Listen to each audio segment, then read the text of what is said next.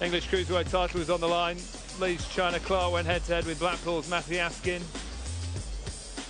Clarke was down in the seventh. Askin taking the title on points.